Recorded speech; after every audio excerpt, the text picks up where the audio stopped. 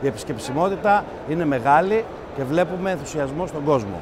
Σκοπός μας είναι να κλείσουμε συμφωνίες στη διάρκεια των εκθέσεων, αλλά ο κύριος σκοπός μας είναι να παρουσιάσουμε νέα προϊόντα, καινοτόμα προϊόντα τη ιδιαίτερη γεύση της εταιρείας μας και να συζητήσουμε, να, μέσα από συζητήσεις και δειγματισμούς, να τα παρουσιάσουμε αυτά τα προϊόντα στις εκθέσεις. Είμαστε, είμαστε πολύ χαρούμενοι, διότι οι πελάτες, μας, οι πελάτες και οι επισκέπτες του περίπτερός μας είναι ενθουσιασμένοι από τα νέα μας προϊόντα.